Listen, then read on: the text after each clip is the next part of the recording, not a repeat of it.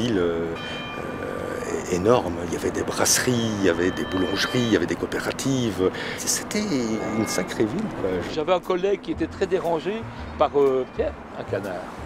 Euh, par, le, par le bruit des péniches, parce que les grosses péniches là- là-bas, quand elles se donnent à plein, quand elles remontent à Sambre vers Herculine, c'est vraiment. euh, elles, donnent plein moteur. hein. Et quand il y a du soleil, c'est vraiment bien. Il y a ce côté neuf et en même temps qui, je trouve, est parfois peut-être éloigné de l'image qu'on se fait de Charleroi. C'est propice euh, la nuit ici en tout cas euh, à la création, tous ces éclairages, la gare, ça invite au voyage. C'est quelque chose d'excitant au quotidien de savoir que finalement, quand on dit qu'il y, a il y a tout à faire à Charleroi, non, il n'y a pas tout à faire, mais il y a beaucoup de choses à faire.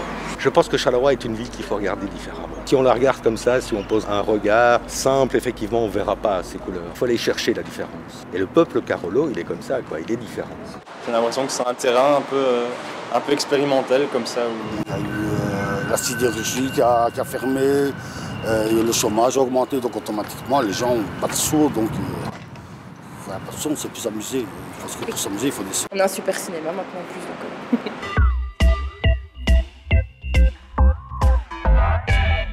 C'était au départ un magasin de piano au rez-de-chaussée avec un entresol qui, qui fonctionnait avec le magasin.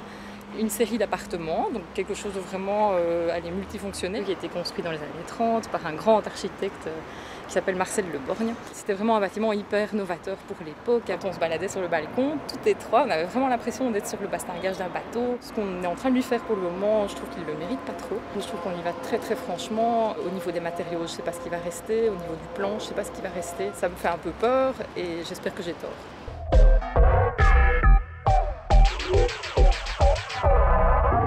On l'appelait ça maison des jeunes, c'était pas une maison des jeunes telle qu'on l'entend maintenant, la maison des jeunes de jeunesse et santé. Donc jeunesse et santé, c'est tout ce qui s'occupe des animations des enfants et des ados et qui dépend des mutualités chrétiennes. Et on se retrouvait là tous les vendredis, surtout le vendredi. Le, le samedi c'était également ouvert.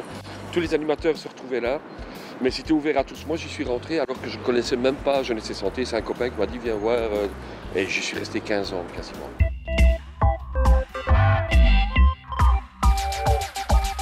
Le cabaret vert se trouvait à l'angle rue Léopold et place Buisset. Rimbaud, qui passait ce soir-là à Charleroi, s'est installé au cabaret vert et a rencontré cette plantureuse, serveuse. Et il était très détendu puisqu'il a allongé ses jambes sous la table du cabaret vert. qui à l'époque était encore ouvert. On pouvait, c'était pas un, euh, un truc de bric-broc comme euh, c'était jusqu'à la fin, mais on y mangeait encore, on y buvait encore. le fait qu'on a appelé ça Arthur Rimbaud, je trouve ça légitime, euh, tout à fait euh, normal.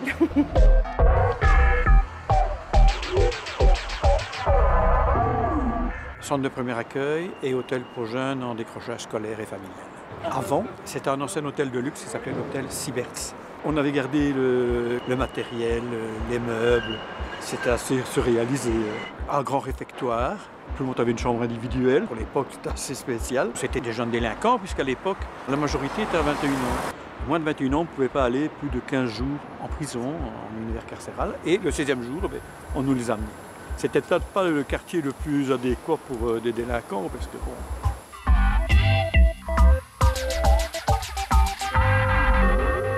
J'ai pas le souvenir d'actes de violence. Il y avait une forme de raquette, oui, montrer portefeuille.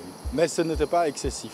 Et il fallait éviter certains lieux, ou plus exactement certains comportements un peu trop provocants. En novembre 85, les cellules communistes combattantes ont fait des- une série d'attentats ici à, à Charleroi. Notamment, ils ont fait sauter la, la Générale de Banque, le boulevard Thiroux.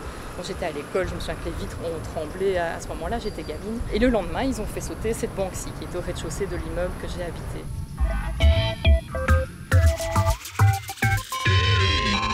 Chouette époque, on va dire, oui. Plutôt festif, Festif. Si vous voyez ce que je veux dire. C'était blindé de monde. C'était vraiment, il y avait beaucoup, beaucoup de personnes. Ça commençait le jeudi, ça se terminait le mardi. Et il y avait, je crois, c'est 11 ou 12 boîtes de nuit à la ville basse, quoi. Des petits bazars, mais qui fonctionnaient tous. On est en 78, 79, 80. C'était à l'époque de Gris. Le perfecto, les soundchecks pour les garçons, les mecs avec des bottes. Les minets et les, les hippies. Quoi. À l'époque, il n'y avait même pas encore de, de CD. Donc on faisait notre petite cassette, on venait avec des cassettes. Début des années 90, 95, 2000, ça a été la fin.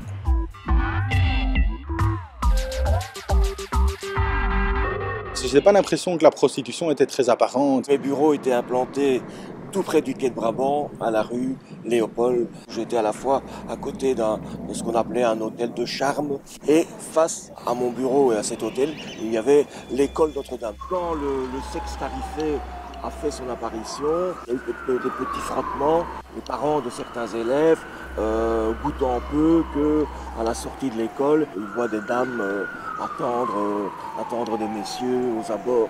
Euh, je n'en ai jamais surpris euh, au bras de, de- de prostituées, mais enfin bon. Ceci dit, à partir du moment où on a 15, 16, 17 ans, 18 ans, quitter les, les murs de l'école pour visiter le quartier, euh, c'est très tentant. On était euh, près, des- près du quai là-bas et on a vu une bagarre de prostituées qui ont failli se jeter l'une l'autre dans le cours d'eau.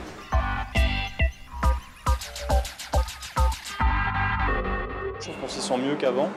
La transformation a fait beaucoup de bien, je pense, quand même. C'est quand même plus agréable qu'il y a quelques années ici, le quai. Ça a été, ça a été une réussite, je pense. Le changement est assez radical. En fait, c'est- c'est devenu sympa ici. Ça l'est plus que ce que ça n'a pu l'être euh, à une certaine époque.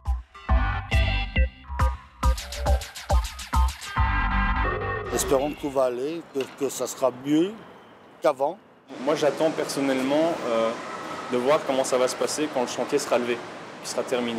On se dira, voilà, est-ce qu'il y aura vraiment une fluidité qui se créera entre la gare, les quais, rive gauche? Certains disent, allez, je veux bien essayer de les croire que Charleroi sera the place to be. Moi, je, je veux les croire. Charleroi, c'est- toute notre vie, c'est nous. euh, je, allez, je vais dire que je suis un désabusé optimiste. Ouais, l'espoir. Espérons que tout va aller, que, que ça sera mieux qu'avant.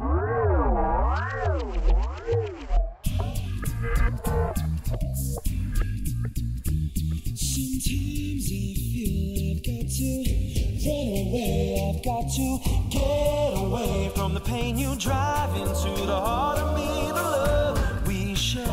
feel For I toss and turn, I can't sleep at night. Once I